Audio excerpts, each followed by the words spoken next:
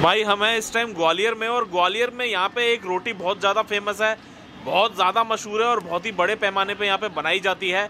आप देखेंगे सबसे पहले लकड़ियाँ ही लकड़ियाँ जल रही हैं और ये तवा देखिए आप, कितना बड़ा तवा है और ये उल्टा करके इन्होंने रखा हुआ है, उल्टा तवा और उस पर इतनी बड़ी बड़ी रोटियाँ बनाई जा रही हैं। मैं आपको सीधा अंदर लेके चलता हूँ और दिखाता हूँ, ये देखिए भाई, क्या स्टाइल है। सीधा मतलब हाथ से ही इसको इतना बड़ा कर दिया जाता है, ये देखिए भाई, गजब। मतलब हमारे दिल्ली में जो रुमालियाँ रोटी मिलती हैं रुमाली रोटी वो इतनी बड़ी नहीं होती। लेकिन ये आप इतनी बड़ी भैया हाथ से ही बना देते हो? हाँ। क्या बात है? तो ये कौन से आटे की होती है? तंदूरी। तंदूरी आटे की? हाँ। मैदा की नहीं है? मैदा की भी बन जाती है लेकिन वो सही नहीं रहती। अच्छा तो भाई ये देखो भाई क्या बात है। अजीब वाह देखो भाई क्या कलाकारी देखो आप इनकी। मैं फिर से दिखाता हूँ आपको ये इन्होंने लिया ये तंदूरी आटा लगा रखा है आपने। हाँ। तो आटे में कुछ और भी डाला जाता है? हाँ जो डलवा वो वो डल जाता है। क्या क्या डाला जाता है वैसे? रिफाइंड। अच्छा।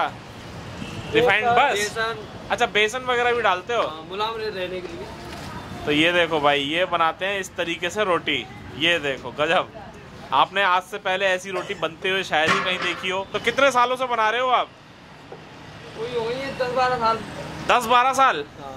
क्या बात है। और डेली सुबह सुबह हाँ रोज का काम ही यही हमारा। रोज का? तो क्या किस हिसाब से बेचते हो फिर ये? आटे से बनती है पच्चीस रुपए किलो से वो दस रुपए की एक रख के हिसाब से बेचते हैं। अच्छा एक रोटी दस रुपए किलो दस रुपए के हिसाब से भी बेच देते हो? और कोई रेस्टोरेंट वाले को अगर ऑर्डर देना हो तो पच्चीस रुपए किलो आटे से मजदूरी से भी बना देते हो? हाँ, आटा होगा। अच्छा। ये देखो भाई, ये है कटी हुई लोइयाँ। पहले से ही इन्होंने रख रखी हैं और वो आटा भी लगा हुआ है हाँ।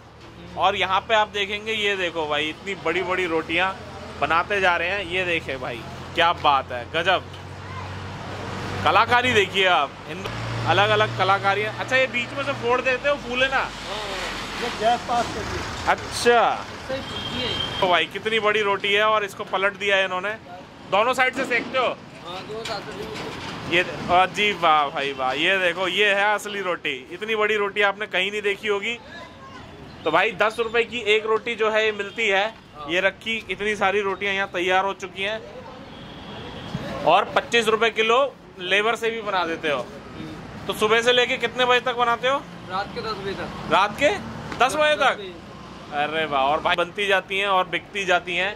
तो लोग इकट्ठी ले जाते होंगे? हाँ। रेस्टोरेंट वाले ही लेते हैं? हाँ। रेस्टोरेंट वाले भी हैं। हाँ जी। घरों प्रोग्राम होता है वो उनका भी है। अच्छा।